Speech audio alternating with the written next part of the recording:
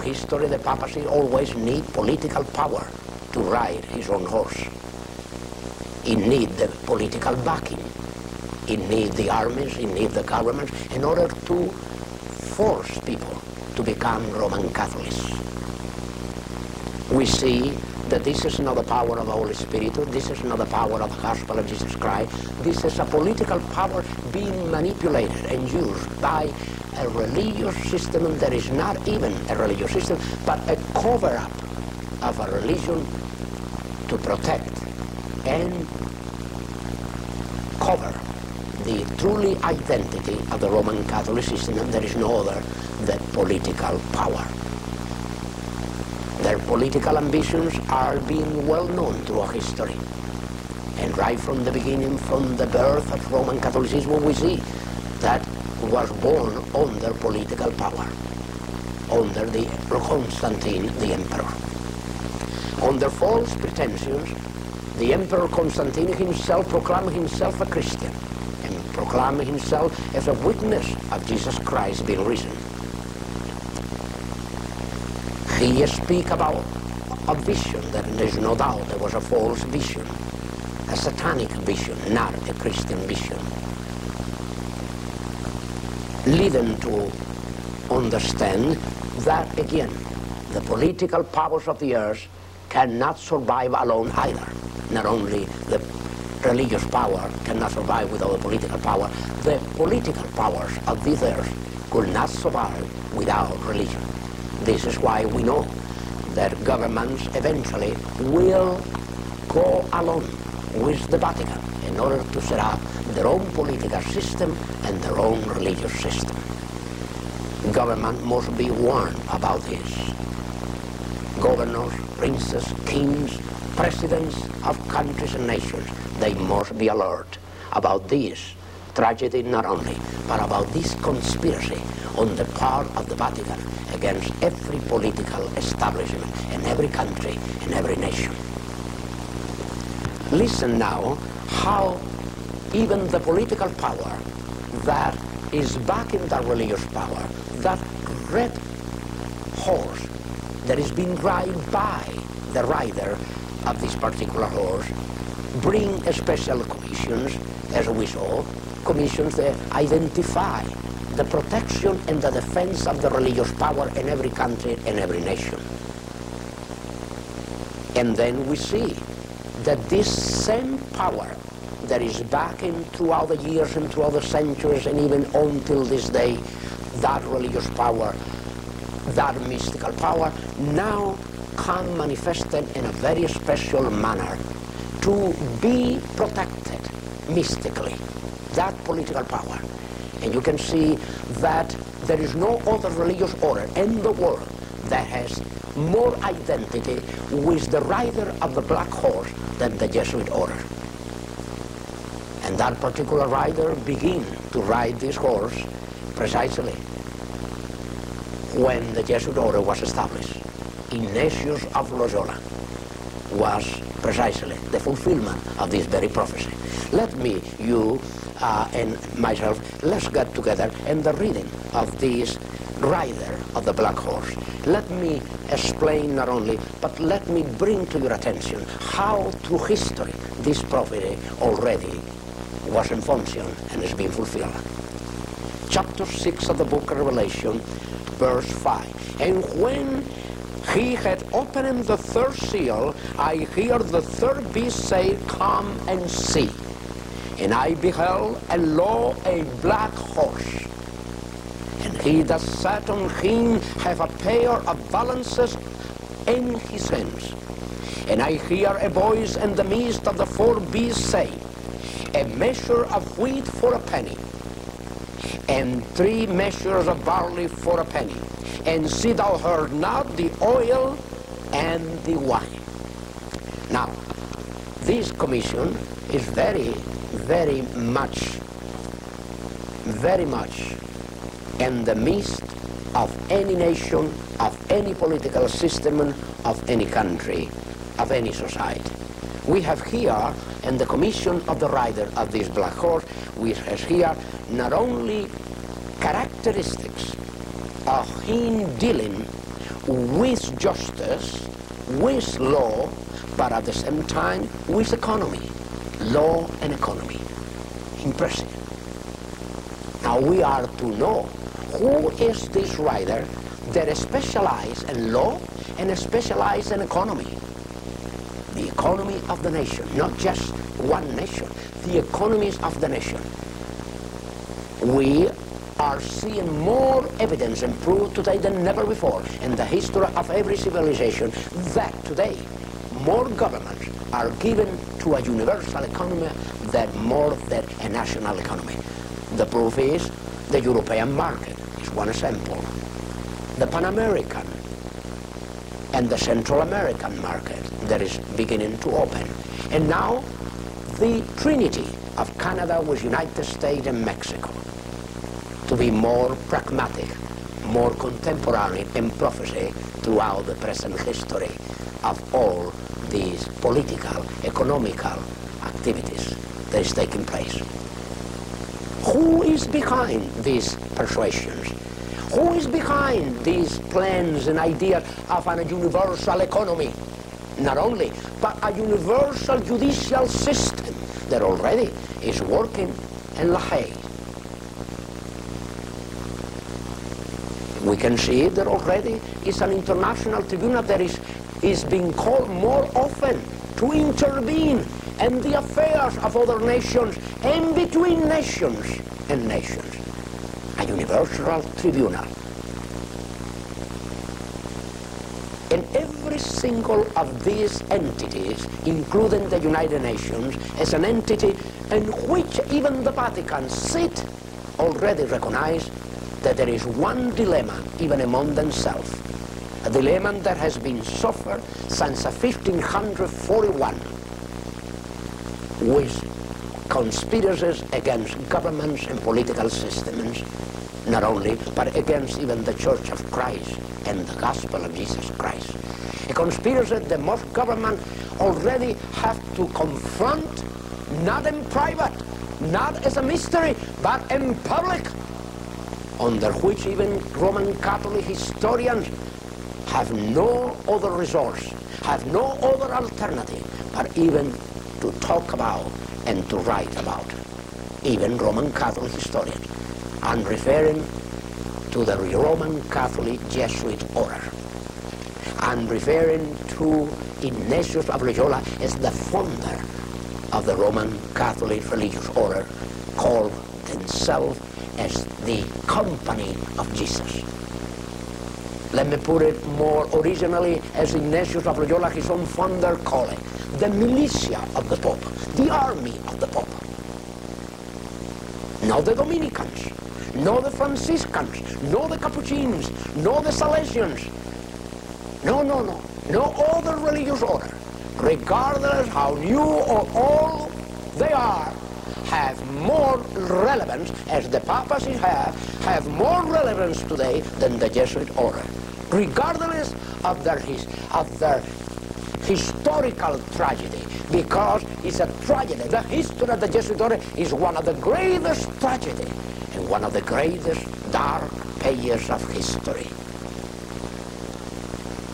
To the point that even this very power, this very political power, not to uh, uh, the national level, but to a universal level, all over, the same very political power, the back, the rider of the white horse, the papacy, these very politicians, these very kings, these very emperors, these very governments of nations and countries has been challenged by the Jesuit order to the point that they have acted not in the name of Christ, not in the name of the gospel, nor in the name of the apostles or their teachings.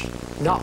And their own authority as politicians, as kings and emperors, as presidents, as, as governors of countries and nations, they have acted as Roman Catholics themselves to expel from their country, from their nation, from their lands, from among their people, they have been challenged to the point of expelling by law, by execution of law, the Jesuit order. the only religious order that has been expelled under political mandates and decrees. Strange? Well, most people would not like to hear this. As a matter of fact, you, as a religious person, as a matter of fact, if you are a Jesuit priest, you yourself will say, he is not knowing what he's talking about. He don't know history. He don't know the Jesuit order. Well, I will not appeal to my own personal experience as a Jesuit priest. I will appeal to the pages of history. You can deny who I was, but you can deny, you cannot deny history. You cannot deny the reality that beyond all the frame-ups, beyond all the cover-ups, beyond all the drunkenness that you have caused the inhabitants of the earth as a Jesuit, as a Jesuit order, as a religious order, you cannot deny the fact that already even Roman Catholic people and you yourself as a Jesuit priest are very much aware. You can cover up, you can keep deceiving, you can keep lying, you can keep distorting even history and historical fact. That is another reality being carried out by the rider of the black horse, the Jesuit order. Beginning with the founder in 1541 when the Jesuit order and the constitutions of the Jesuit order were brought before the Pope that gave the grant not only but the approval for those constitutions. Now we understand that the same very Pope that approved the religious order suffered the consequences of that approval. Not only him, but several other popes that were being murdered and poisoned and killed because they rebelled against the Jesuit order and they excommunicate and they expel and they disband the Jesuit order several times in their history.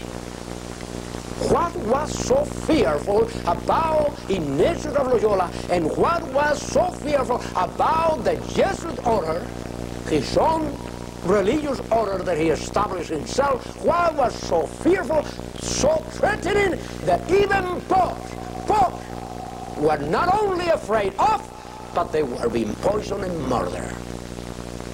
What was so threatening and so fearful about this religious order, about these Ignatius of Loyola, that even, even those priests that were taken under oath and induction that were not able to fulfill the crimes and immoralities they were challenged to commit in the name of God, in the name of Ignatius of Loyola, in the defense of the Roman Catholic faith, and in the protection of the papacy, these very priests, they have to flee from the wrath of the Jesuit order and their oath already taken because they fear for their own life.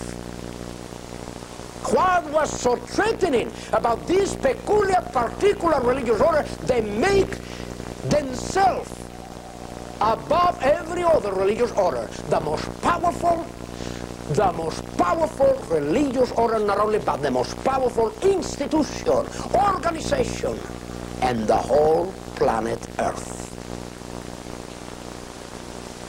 Let's begin with the mystical power of this rider. How that power was granted and by whom.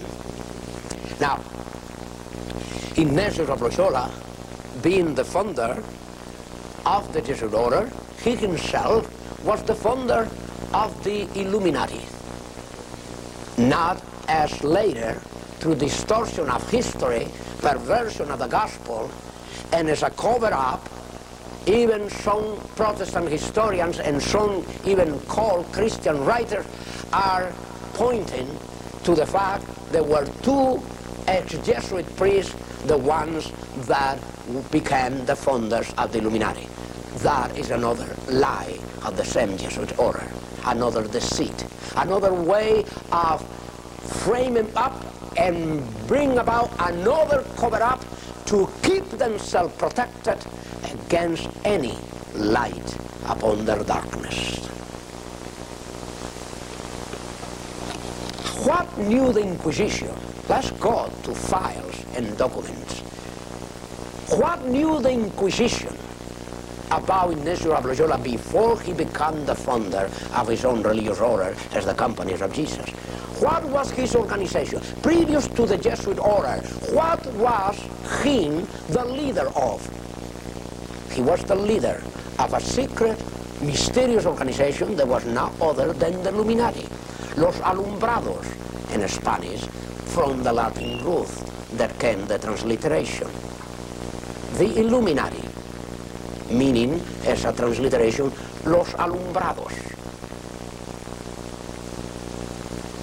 This is the way that the inquisitors knew Ignatius. Yes, they knew him first as, as a very powerful and influential military person.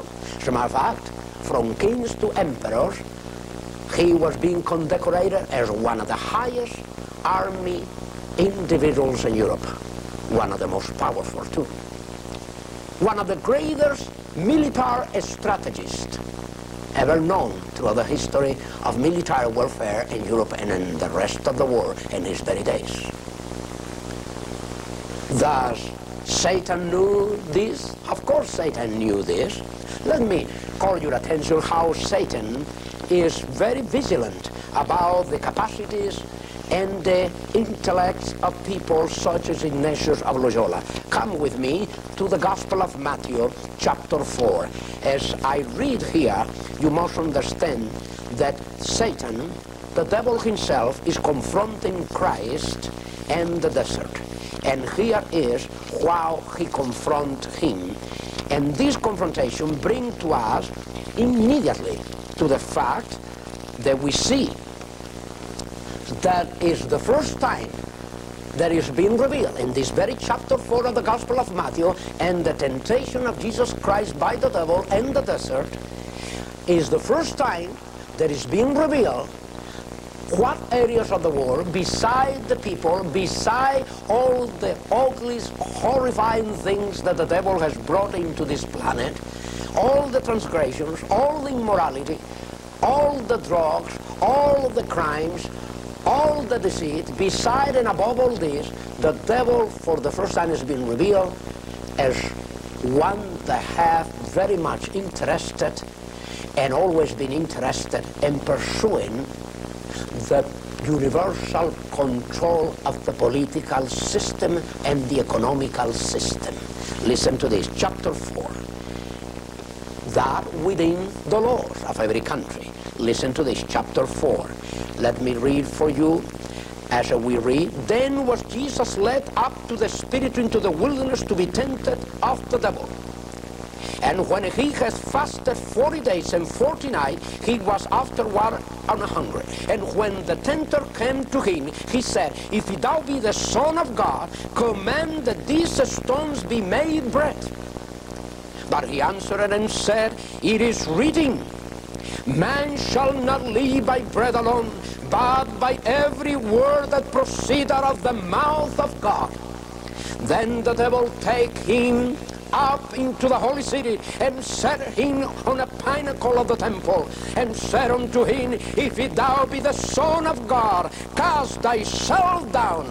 For it is written, He shall give his angels charge concerning thee and in their hands they shall bear thee up, lest of any time thou dash thy foot against a stone. Jesus said unto him, It is written again, Thou shalt not tempt the Lord thy God. And again the devil take him up into an exceeding high mountain, and show him all the kingdoms of the world, this planet, the very kingdom on which you live today these very kingdoms. There was no doubt about it. You can see that even in United States of America there were kingdoms here prior to this present system. They were aborigines of these lands. They were people. They were tribes. The devil already previewed that. He knew what was to be developed after. Listen to this. And show him all the kingdoms of the world not certain kingdoms, all, all the kingdoms of the world, including the United States of America.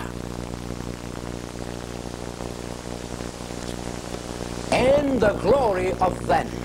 What that means is the richness, the wealth, the power. And of course, the laws, the rule, these powers. And saith unto him, All the things will I give thee. Here's the meaning. The devil can give the things to Christ. Does Jesus Christ deny that fact? No. He accepted because he knew there was a reality. Already, politically speaking, economically speaking, militarily speaking, God left the kingdoms of the earth in the hands of men as the Israelites choose to do. There was no longer a theocracy. It came to be democracies, theocracies, uh, no longer theocracy, but monarchies, and so on. Already, from the time of the prophet Samuel, we see the changes already, from God's government to men's governments. And I said unto him, All these things, all these things will I give thee, if thou wilt fall down and worship me. Certainly. You understand what that means. That was just to fulfill all the power, not as a prince, but as a king. All what the devil was in need is for Christ to worship him then he will no longer be a prince over the kingdoms of the earth. He will be a king. The same pretensions of the Antichrist. As a matter of fact, to make it more clear, more pragmatic, more contemporary, the same pretensions and ambition of the Pope of Rome, John Paul II. You will say, well, doesn't sound like he's looking forward to that. Well, He's not only looking forward, he's working forward already. The fact that he is visiting every country more than any other pope.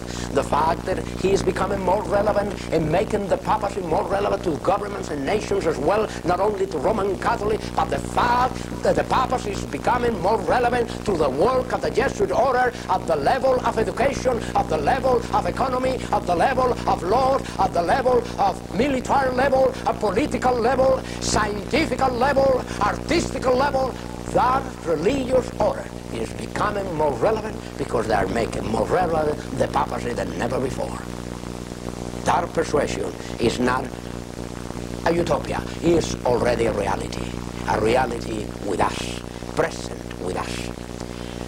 Why this writer is becoming more relevant is because he, they have, the Jesuit order, they have to now follow up with the riders before the white horse, the red horse, the religious power and the political power. As a matter of fact, it's impressive to know there is no by coincidence that this black horse is the third. It's not the first, it's not the second, it's the third. It's not even the fourth, because the fourth is the pale horse. But what the black horse is doing between the red, backing up the white, but behind the red, and between the red and the pale. That black horse is between the red and the black horse. What he's doing there? Historically, he always been there. Always. The Jesuits always been there. Between the political power and the religious power, not only, but the ecumenical power. Who are the greatest authors of ecumenicals? Who are the greatest authors of the charismatic renewal? Who has been the authors of all the so-called renewal, even from the Council of Trent down to our day? As a matter of fact, who were the authors of the Counter-Reformation as a way of renewal? The beginning of all the renewals in the Roman Catholic system began with the Council of Trent. Some people believe it was the Vatican Council II. That is wrong. It's a distortion of reality, historical realities. The Jesuits begin the charismatical renewal already in the Council of Trent. with the Council of Trent and by the Council of Trent. Was in favor of the Protestants? No, against it. But in a very sophisticated, theological, philosophical way. Today, more than theology and philosophy, the Jesuit order is using among the ecumenicals and charismatic psychology. All the behavioral science are being implemented to carry out. Mystically speaking, is even dealing with parapsychology. As a matter of fact, with hypnosis to transcendental meditation. Listen to this right now. Again, listen very well. I'll give things to thee if thou wilt fall down and worship me. This is how the devil challenged Christ himself in person. Physically in person.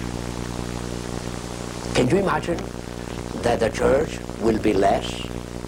The church has been challenged in that direction today, through television, through radio, to so-called Christian magazines, including Christianity Today, one of the most, one of the most, one of the most sophisticated channels of the proposal of one church and one political system.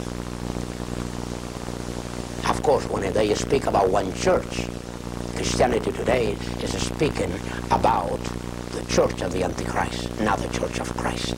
Some of us, they never has spoken about Christ, but about the Antichrist in the name of Christ. This very magazine, among so many others, they are already the greatest promoters of the kingdom of the Antichrist, never of the kingdom of the Antichrist. They do not follow up the principle of Christ, but the principle of the Antichrist, the persuasions of the popes of Rome, the persuasions of the so-called fathers of the church, but not the persuasion of the apostles' doctrine, not the persuasion of the doctrines of Jesus Christ, nor the persuasion of these prophecies. If you care to take a time to know it, even Billy Graham himself, the co-author of these magazines as well of these corporations, beginning with his father. They always, always, they were very much eager to get into the ecumenical side. And they were part of the organizers of every other ecumenical activity under the pretext of the preaching of the gospel. What a shame and what a perversion of the gospel. Under the pretext of the preaching of the gospel, they have arrived to the greatest climax. Catholics are now joining Billy Graham crusades to evangelize Catholics and to evangelize the rest of the world. How Catholics can evangelize Catholics is a matter of question under the light of prophecy not only, but of the teachings and doctrines of Christ, under the grace of Christ, under the atonement of Jesus Christ, under the grace of Christ.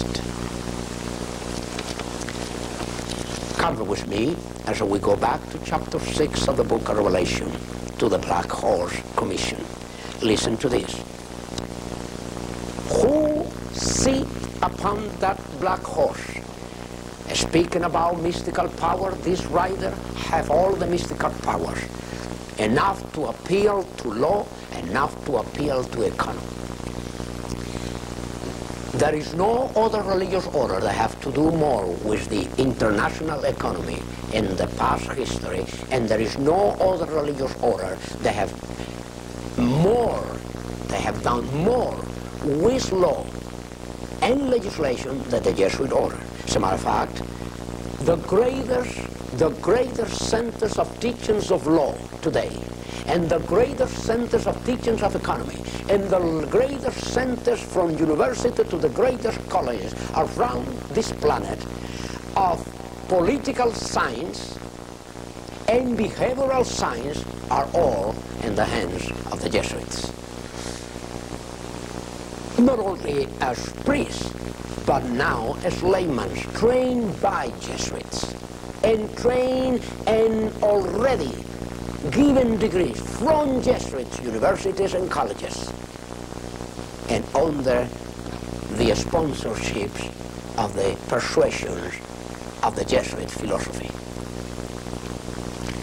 who has been working tremendously with all the economical programs of every nation, including myself as a Jesuit priest, did work. I have the documents to show, in Spanish at least, works for the economical programs of one of the nations in South America, Ecuador. As they did it with Paraguay from very early days, as they did it for Brazil, as they did it for Chile, Argentina, as they did it for Nicaragua, as they did it for uh, uh, uh, Salvador, Honduras, as they did it for, uh, for Spain, as they have done for many other countries, from Europe all the way to Africa, including Japan and China and India, from the very early days. The advisors of even Genghis Khan were Jesuits. The Emperor Genghis Khan had economical advisors, they were Jesuits. Scientific advisors, they were Jesuits. The Koreans, they did have the first governments that allowed the Jesuits to come in in the 1700th century. They were Jesuits.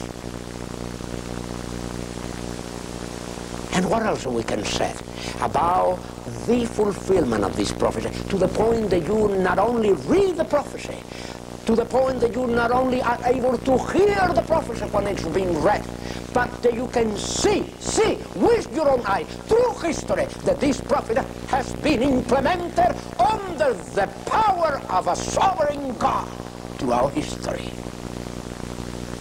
We have no longer have to wait for false interpretations of these four riders, of these four horsemen, as we have seen in films, as we've read in books, including one of Billy Graham's books. Given all kinds of false interpretation where people cannot see anything. They will never be able to see what already throughout history for hundreds of years has been already seen. 500 years ago, these riders begin to ride this planet. 500 years ago, from the minute, already, from the minute that Ignatius of brought his constitution, the secret constitution, not even the constitution that are known today, the secret constitution before Paul, Paul III. Listen to this. Now we understand better what is happening today. What is happening today on the false interpretation of these prophecies is that you are not able to see. And the revelation emphasizes in every step of this prophecy, come and see. And reply, John said, and I look, and I saw, and when he had opened the third seal, I hear the third beast say, Come and see. And I beheld, and lo, a black horse. He saw it. Why you cannot see? Why most of the churches and Christian churches cannot see. Why most even of men of God cannot see. What can be the persuasion? I will not say the men of God in the church of Christ deceive. I will say persuasion, temptation. What power, what power is dealing with men of God and the church of God that at this point in many areas of the world the church is not seeing and men of God are not seeing. When the world is in darkness, who is going to bring light to them? I am the light of the world, Jesus said. I am the light of the world. Whosoever shall follow me shall never be in darkness. Shall never be in darkness, not only that they shall be light. In the Sermon on the Mount, he referred to that same teaching. He said, ye are the light of the world. The light was not made for you to cover up, but that men can see. The men can open their eyes to what you see, to what you know, to what you understand, to what do you believe as a Christian, as a man of God, as a church of God, to what you believe, to what you see, to what you understand. Men will never be able to see much less to understand, much less to believe the gospel, unless you yourself can see. See the rider of the black horse and the commissions of the rider of the black horse. The identity even of the color as well happened with the identity of the color and even the superficial dress of the Pope, as well the color red in every other political system red always from Roman Empire to fascismo to communism, they always identify that red color always. You can see the flags of all these systems and you can find red and black along the lines. Today that red and black is on the march beginning to flourish more than ever so. There is a flag in the Jesuit order that Ignatius of Loyola already established right from the beginning. There was no other person that did it, Ignatius or Loyola.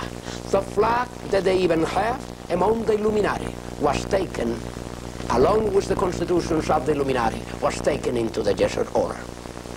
As a matter of fact, the very constitutions of the Jesuit order that Ignatius brought to Pope Paul III, these were most of the rules, the secret constitution of the Illuminati. All what Ignatius Loyola did, once the inquisit, inquisitors discovered what he was doing, and once the Ignacio Loyola was arrested by an inquisitor after much exploration, much investigation, much espionage on him and his activities not only in, in north of Spain, but throughout the entire country, throughout the entire kingdoms of Spain, and then throughout the entire kingdoms of Europe. They follow him wherever he went. They follow, they spy on him, the inquisitors were observing him for many years after he retired from the army. Before he retired from the army, already being that army active man before, he was engaged in that satanic secret organization of the Illuminatis. Being so that he was the founder before he left the army. He left the army and became fully engaged and bringing more members from all the monarchies, from monarchs to princes and countess and countesses and princesses. They were being enrolled among the Illuminatis and his organization. This is why when the inquisitors, by the time that the inquisitors finally put their hands on him and said, you are arrested and you are going to be convicted of a crime against the Catholic faith because you are holding secret meetings against Catholic teaching. He immediately told the inquisitors, now, on the contrary, we are protecting and defending and preserving Catholic teaching from our position in secret. We are watching for those who are not faithful to Catholic faith. On the contrary, we are helping and assisting the preservation of the papacy that is about to fall. The inquisitors here are very serious, Ignacio Loyola, nevertheless, they doubt. They were ignorant people. They were not as intellectual as Ignacio was. Most of the inquisitors, they were not able even to read or write. Let me explain this. That was the order that was established, the religious order that was established by so-called San Domingo, or Santo Domingo de Guzman. Saint Dominic of Guzman. Who was this man? that established the Dominican order. Who was? He was no other person than the author of the Rosary. He was the one that fabricated the Rosary. He was the one that brought about the Rosary. Nevertheless, he was the inventor of the most horrifying instruments and utensils of torment. Torch. He invented every other utensil and instrument to bring about confessions out of the mouth of their victims. And most of their victims of the Inquisition were Christians. These are documents too in the files of the Vatican. As I approach in my own career as a Jesuit priest, the times that I was able to go through these files, I myself, I was confused already. I could not understand how men could judge another man by the fact that they were confessing that Christ was their Lord and Savior because they were not believing in the sacraments, but they did believe in Christ and his doctrines and his teachings. Being so that I was not allowed myself as a priest to bow to the Bible without magisterium and tradition, then I reject the Bible for the final solution that was taking me to an eternal death. I decide that the Bible was the one that was placing me in trouble, not the tradition, not the magisterium, but the Bible. And being so that I reject the scripture, I begin to deal entirely with magisterium and tradition. But that is where the confusion arrived to. Once that I begin to deal with this very mystery of iniquity. This very mystical individual, Ignatius of Loyola. The man that after he was arrested and convicted and already, already prepared to die and fire, burn alive, already immediately was called saying that he have a special permission by the General Inquisitor to present himself before the Pope, Pius III, in order to reveal to the Pope himself what he knew about those who were conspiring against the papacy. This is when Ignacio Loyola was, was, brought, was, brought, was brought to the very presence of this Pope under the safeguard of the armies of several kings in Europe. They all joined. This is why the political power had that influence to stop the inquisitor, even the general inquisitor. The letters that came from princes, the letters that came from emperors and kings in Europe, protecting Ignatius of Loyola, stopping his death, accused of heresy against Catholic faith. You can see that he had very little time to prepare himself and to prepare for his introduction to Pope and to bring him facts, documents that he and his secret meeting around Europe was protecting the papacy, was protecting the Pope, was defending the Catholic faith. He must prove it. And he did it. He brought the very constitutions of the Illuminati where he declared a universal government and a universal religion. Now, he arranged to be that religion, the Roman Catholic religion. He arranged for that universal, for that universal men of political power, for that universal figure, for that universal personality, he arranged to be the Pope, based on the theology of Augustine, hundreds of years before, where Augustine already, one of the so-called fathers of the church, Augustine himself, this devil, this child of the devil, Augustine of Hipona, himself declared the Pope to be the ruler above all the rulers of the nations of the world. Augustine said that theologically, philosophical, and then biblically. He will go as far as to the book of Genesis to demonstrate that when God created all the universal system, God already placed the sun as the center of the universe, the moon and the earth. And that divine order, he said, the Pope has been placed in the history of the nation, in the history of the government, in the history of the world. The Pope become to be the sun, where the moon become the governments of the earth. For that matter, being so that the moon have no light of her own, the moon received the light from the sun to reflect it upon the earth, upon the people of the earth. He said, that is the office of the Pope according God's divine sovereign.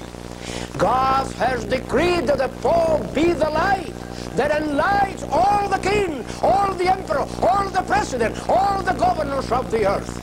And without the direction, persuasion, guidance, wisdom, intelligence of the Pope, no government is allowed to succeed or survive. That was the commission of the black horse or the rider riding the black horse. Even the color.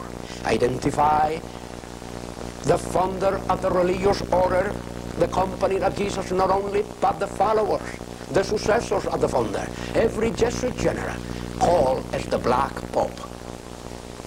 The Black Pope. Not only, but the Black Order. Is the Black Order, is well known as the Black Order.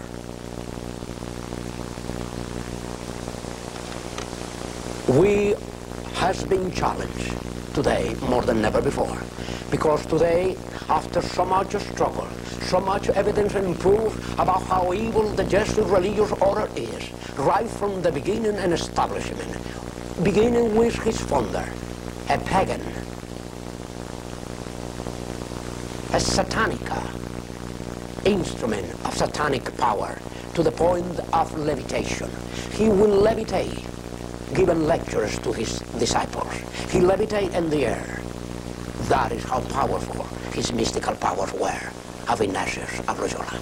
And that is how powerful the religious order begin to work and function in the world through occult, through powers of darkness, through especially the seven steps of the spiritual exercises, visualization,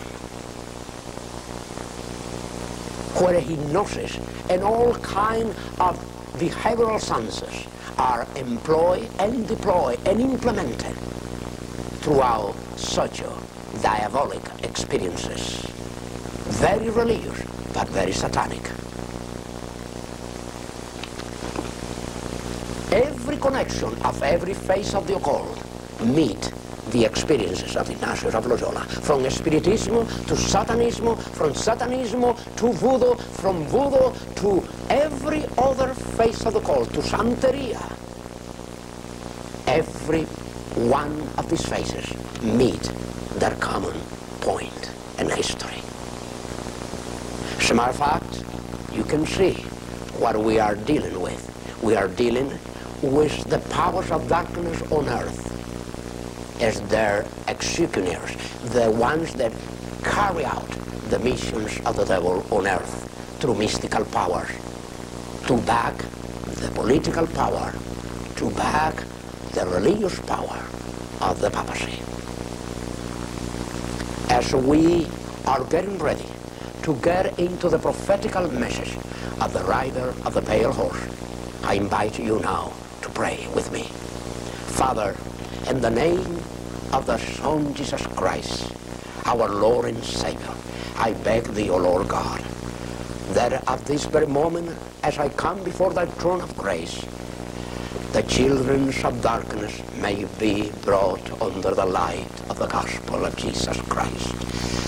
That you empower the church, that you empower thy servant, that you empower thy children to the power of thy Holy Spirit, that this powerful darkness may be broken and the light of the gospel may be brought to the hearts, to the minds, to the life, to the emotions, to the sentiments of every religious person under these powers of the occult.